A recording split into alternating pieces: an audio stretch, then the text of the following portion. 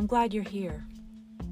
Last week, when the video surfaced of Ahmaud Arbery's tragic death, so many people were shocked and grieving. So, in this week's episode, Jye and I hold the space for each other to discuss our thoughts and feelings about Ahmaud and race relations in general. So, we invite you to hold the space with us, and this episode is in honor of Ahmaud Arbery.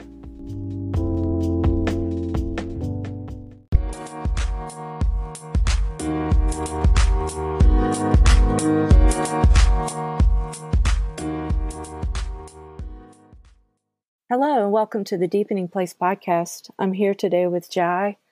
Hello, Jye. Hey, Angela. How's it going? It's going. It's going well. How's it going for you? Um, pretty good. I'm here in New Orleans right now. I drove in yesterday to visit my mom Oh, and yeah? sister. Yeah, so she got in sometime last night. Pretty rested. Feel good. It's always nice Oh. to be home. Well, thank you for doing this. Oh, of course. I'm always happy. Yeah. Last week, when we finished the podcast, you know, we talked about kind of what direction we wanted to go in, and we've always said we wanted to talk about race, but we just haven't really gotten there yet. Yep. And last week we said we thought it was time. And little did we know what was going to happen this week. You know, even in the midst of the pandemic that's happening, it really does highlight how much of an, an issue this is in this country, if nothing else in the perspective of people and like lived experience, because this is dominating my news feed in every dimension imaginable. I don't know. It's been very hard for me personally to like any sort of thoughts about it. I've been doing a lot of just listening and reading. That's where I'm So- at with it. We're talking about Ahmaud Arbery. And Yes. you said that the the pandemic itself had brought some things to light and now this just intensifies it.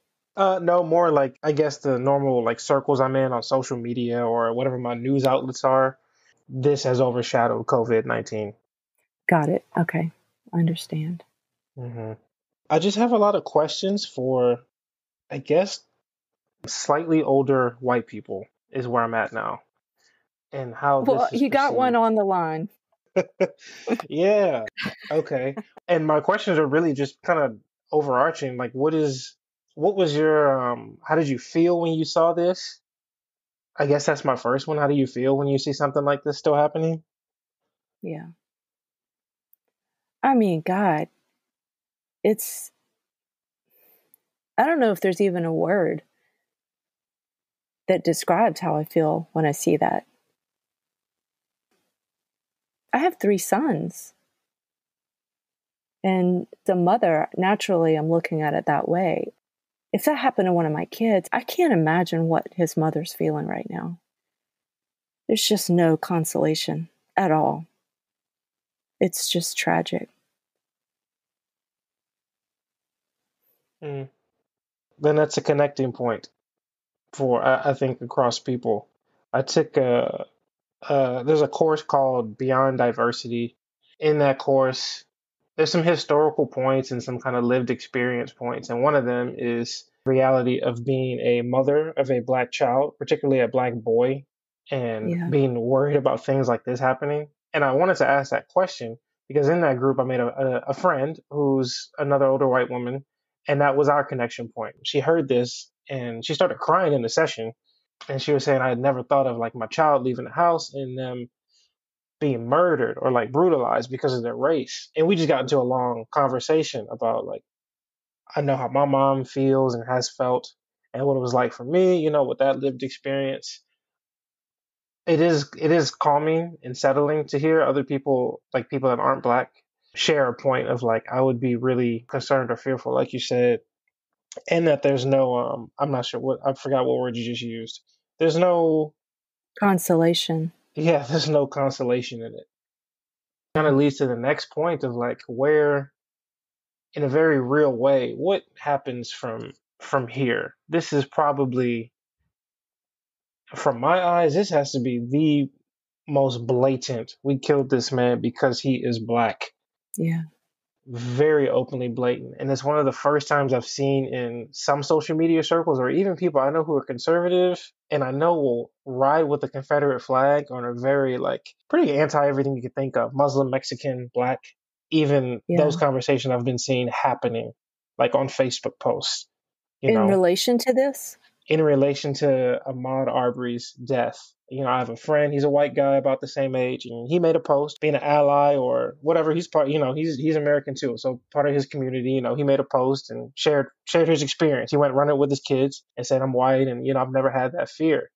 And he had cousins, you know, and relatives posting on there um, saying, "Ben, we love you, and I know we've never seen eye to eye on racial issues and stuff, but um, I can understand your point. This is the first time I'm really seeing it. And for me, from my eyes, I've never seen I've never seen white people in community on Facebook across like left, right, Republican, Democrat, racist, or even non-racist, whatever the case, say, "Wow, I kind of finally get the point now," um, just because yeah. of how blatantly messed up it was. I mean, it reminds you of like a an old textbook lynching from way back. I watched the video; it's incredibly barbaric, incredibly barbaric. So my questions have really been like, what is what do other people see? You know, the community I live in has seen this and lived with this reality for a long time.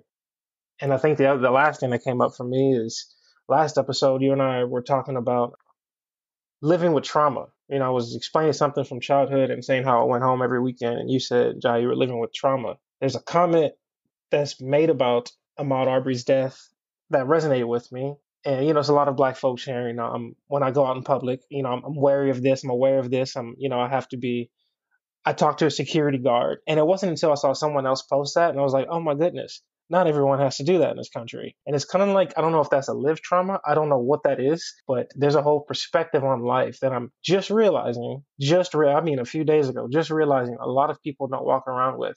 Because I definitely go in the store. The first person I look for is a police officer or the security guard to make sure they see me and that they think I'm friendly. It's been like that since I was a kid like that's been trained, yeah. that's been instilled. I didn't realize people didn't think like that. Like when you go into a store, you're trying to make contact and let whoever's in charge of security, they, you want them to know you're okay. You're not somebody they need to be watching. Sort of like that.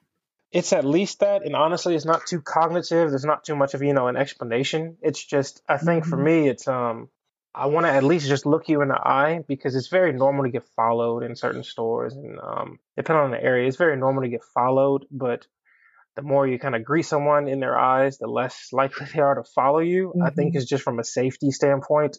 It's never really trying to connect too much, or if from the other side, try to make them feel safe and at least like you know greet them or acknowledge them. But it's always mm-hmm. safety one way or another.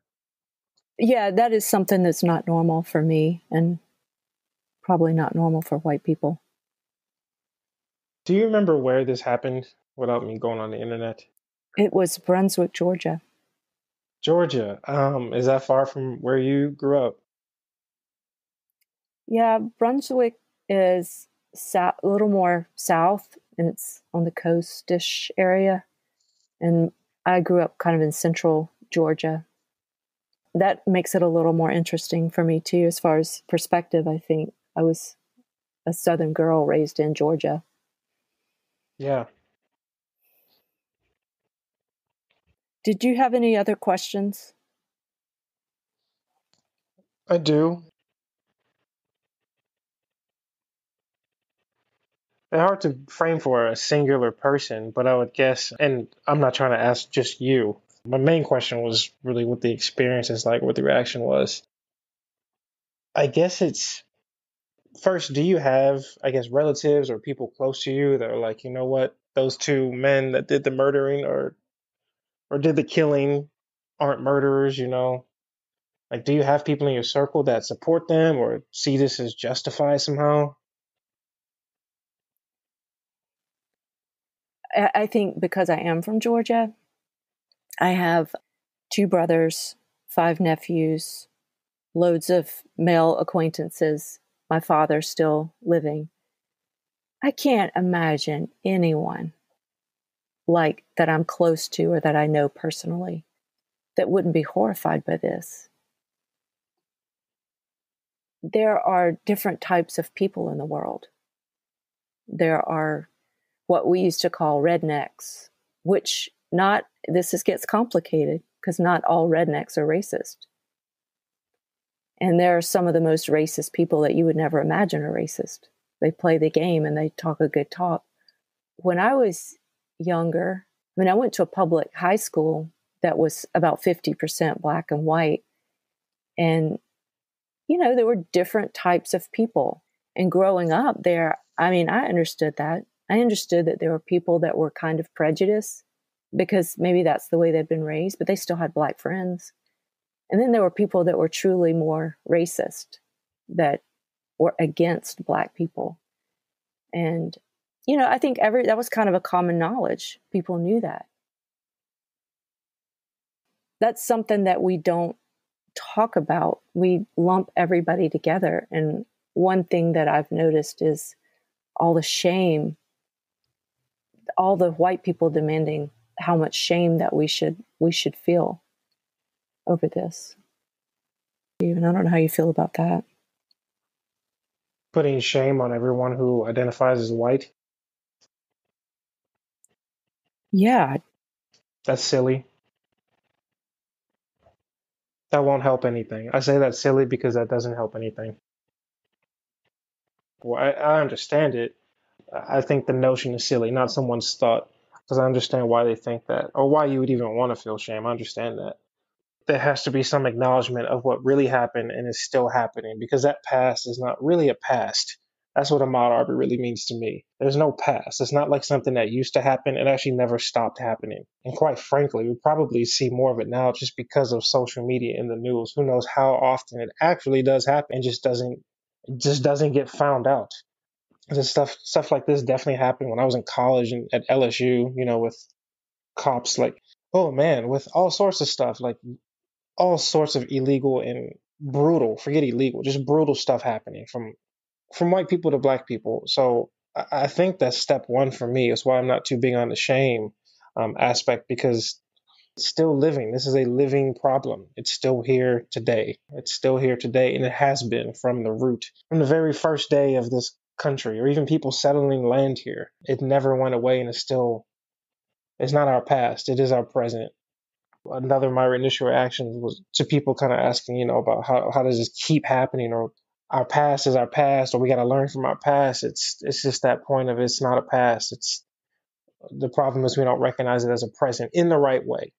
I love your point about rednecks are not all, you know, it's just a title. It's, it's, it's a thing. And I'm laughing, I'm literally laughing out loud because I mentioned a guy here in New Orleans last time who he's a conservative guy he openly supports Donald Trump.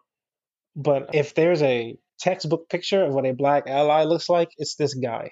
And he lives here. And he would definitely, if not him, the rest of his family identified as, as rednecks. So the picture gets really, it's just very confusing. I actually feel more confused as I try to think about anything around it. Why is this still happening? I guess my question for you is you you have a few decades on me and a different perspective. You're from Georgia. Why are communities still existing like that? Where people, you you know, why is that happening in Georgia? What is the historical context there? I think what we do, our mind is designed to operate this way. So we put everyone that's the same together. In the white community, we can say about each other there's redneck, elitist, yuppie. We're talking about different types of people, and our mind does that. It makes us feel comfortable because we feel like we're narrowing it down. We don't have to think about everything. We could put them in different categories. It's part of our defense system that the mind does. I notice in times like this, we put we want to put everybody together. From some of the liberal white groups, it's everybody that supports Trump is a white supremacist, racist. And just like I said before, all those people that I mentioned from Georgia, they're probably Trump supporters. I mean, I haven't interviewed every one of them, but I would say I didn't know that many Democrats growing up. I would imagine that a lot of people are conservative and probably voted for Trump. But that doesn't mean they're racist. Things we've talked about before, like that our greatest sin is our refusal to see and the greatest consequence is a lack of unity. And what I think people need to see here is that Georgia is diverse and there are a lot of different types of people there. And this is a horror show for, I would guess, a majority of people that live there. I don't know if they were an anomaly in their neighborhood or if they were an anomaly in their town. But I know of all the people that I know and love in Georgia, I've I don't know people that would do that. I don't know anyone who would be okay with that. When I go to Georgia, it's a melting pot. People aren't allowing themselves to see Atlanta when they when they do that. They're not allowing themselves to see the upper middle class to wealthy black neighborhoods surrounding Atlanta. They don't get the whole picture. Just like everything, it's complicated and diverse, and it goes so deep into our history, but us not allowing ourselves to see each other is part of the problem. Yeah. Does that I make like what you said there. Yeah, no, it makes perfect sense. I think for me, what this is me personally, what would make me not so much feel better, but feel like we're taking a step in the right direction is we need some public acknowledgement. We need to see the other side as well. And this is definitely sketchy territory. But see the other side, I'm I'm very curious about why are so many people because we don't hate as children, right? Why are so many people programmed to hate? And how is that still carried out? Like why were those two men so terrified of this black guy? Why is that fear there? How is it still there? That's what I'm really curious about. And acknowledging it to the point of you hate me or you don't like me, okay, but murder is a line no, no one's going to cross. I don't care if your opinion is that all black people should be exported back to wherever you think. But the point where you start infringing upon a rights, you shouldn't even come to rights, but you can murder me over it, and that's socially acceptable in the circles you're in.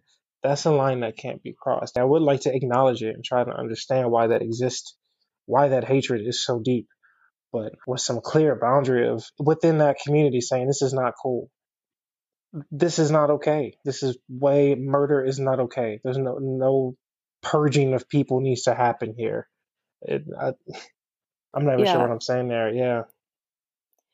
there's a convergence of a lot of issues here. And when you say, why is there that much hate? I don't know if they hated him. Had they seen him around the neighborhood? Did do they hate all black people and their fantasy was to kill a black person one day? Who knows? But I think it's more than just racism. We're also getting into toxic masculinity. So Mm, it might not have even been that much of thank you. it was a convergence, okay? It was at least a convergence. I'm Wyatt Earp and I'm going to get my gun and I'm going to go out there and take care of the neighborhood. It was awful and grisly, and that's not how we do it here in this country.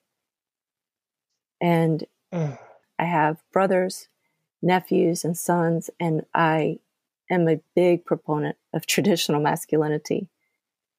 But every single person on the planet has been wounded by immature masculinity. Every boy, every girl, every person. And when you put a little racism with immature masculinity or toxic masculinity, it can lead you to ugly places that we have all seen.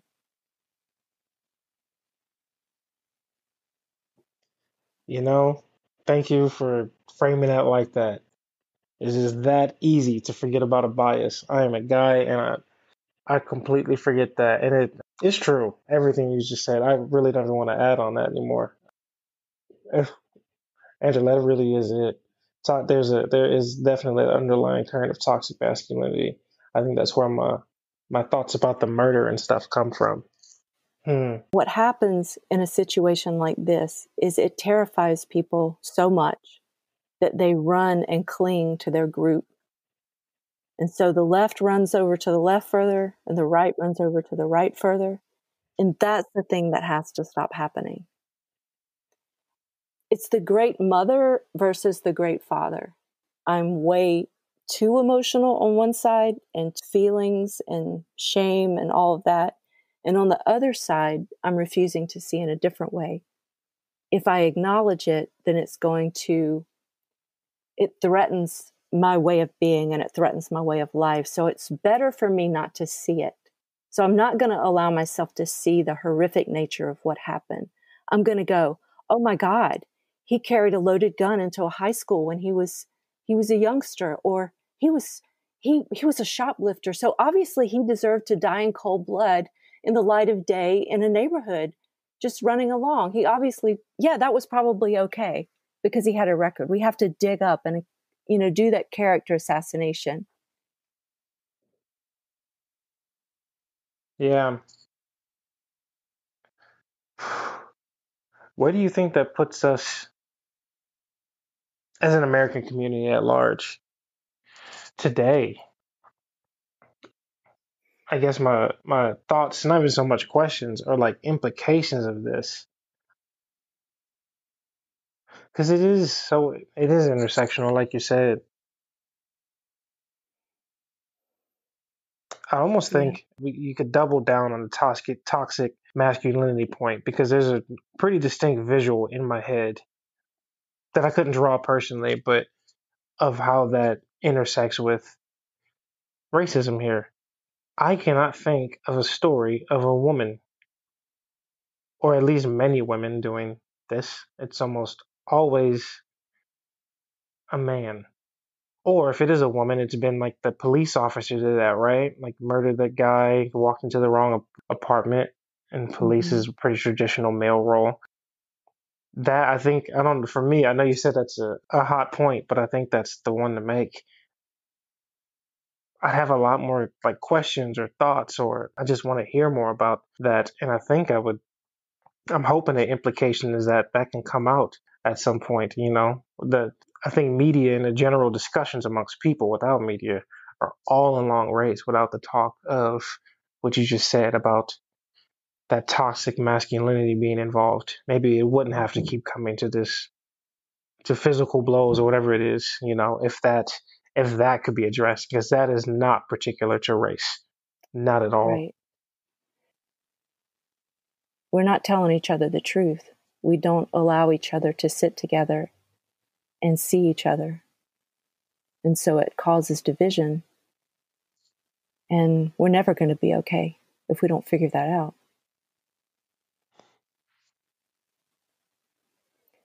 we can believe the world is a horrible place and in our personal lives feel fairly safe and even have a wide array of acquaintances and friends. But we keep believing the narrative that we've been fed, you know? Yeah. It's not to say that some people really really have it in their face every day. I don't I don't not believe that. I believe that it's that's probably true for some people. But I do believe that in the United States of America, in a lot of communities, on most days, people are working together, living together, loving each other, and getting along. We need to realize that that's also true. It's not that this is not true, but that's also true. It's a powerful point that's pretty hard to get out there though. You know. Yeah, because of the fear. That's the thing. People Yep. r- run to their extremes in times of fear. And if this doesn't make you afraid, then it's terrifying. Huh. You know, I'm here I'm I'm in New Orleans right now. My mom got diagnosed with coronavirus like oh, probably 2 months ago at this point, right?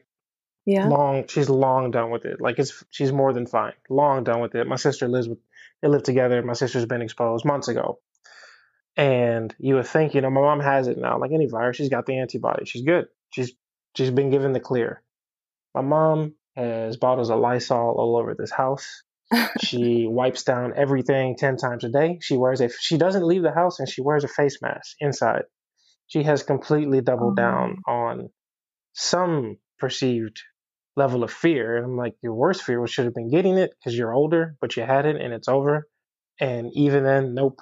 I mean, she's full blown. I don't know. The amount of toilet paper here is, is enough to build a house. Like I mean, fully, fully doubled down on it.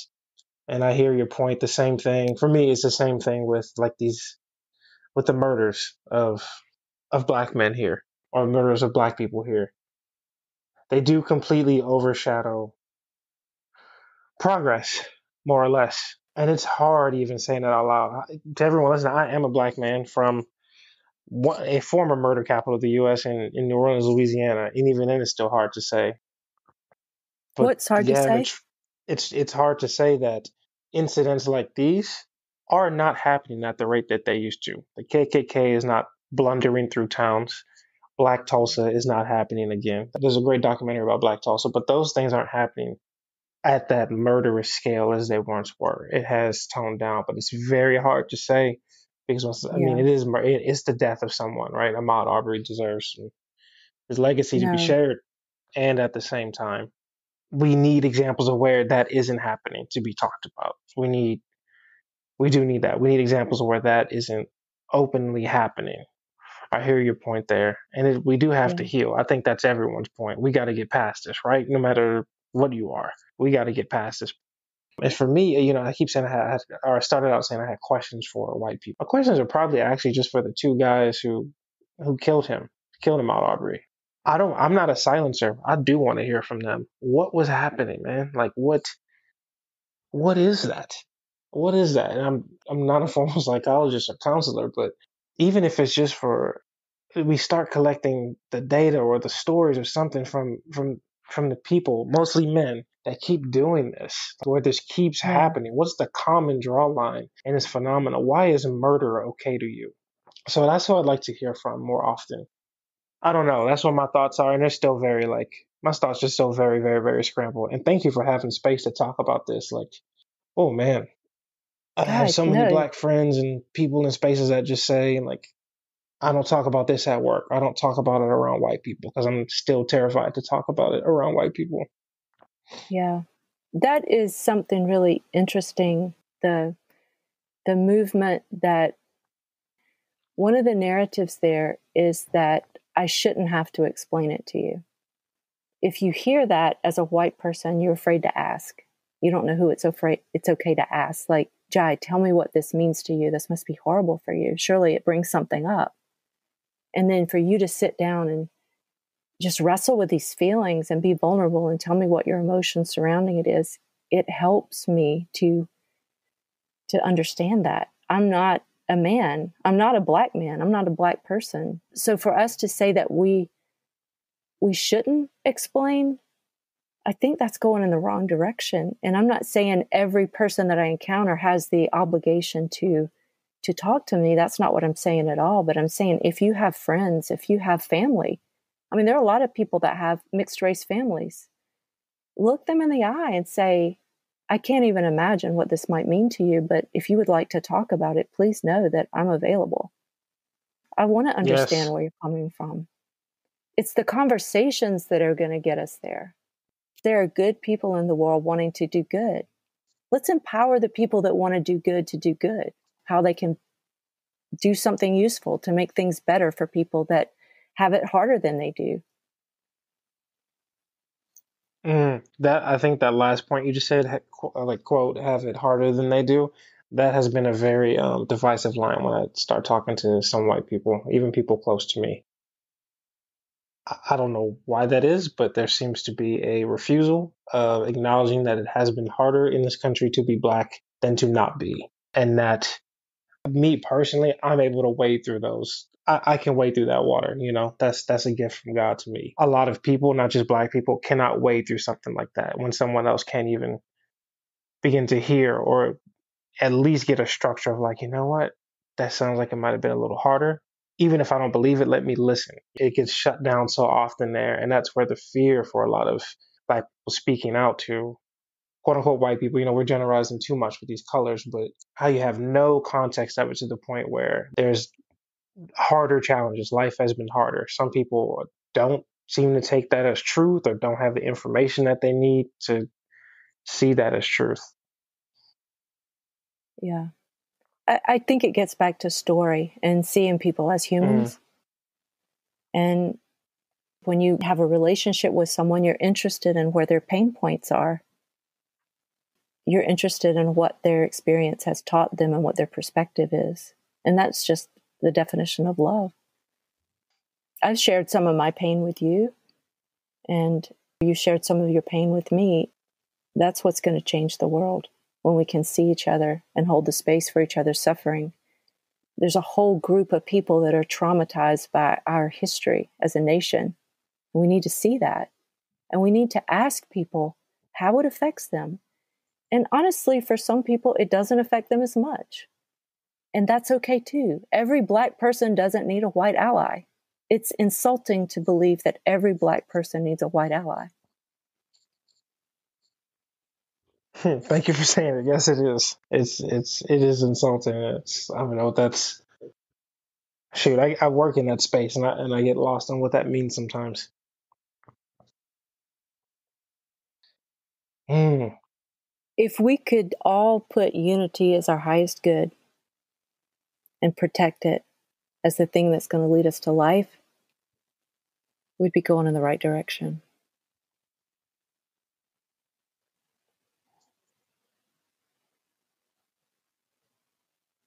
Yeah, we got to find a way to get there because we need we do need the Ahmaud Arbery's to stop. I mean, we need all murder to stop. Man, just wish peace to that to Ahmaud Arbery's family, everybody's family involved with that. It's, it's truly tragic.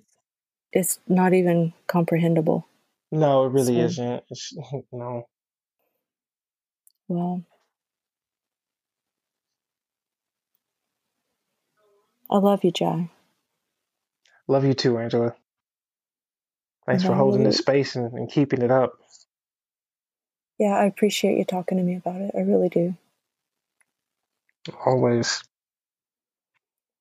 All right. Do you have anything else you want to say before we go? No. No. I think we just let's respect the space. So I think we talked it through as best we could today. All right. Thank you. You're welcome.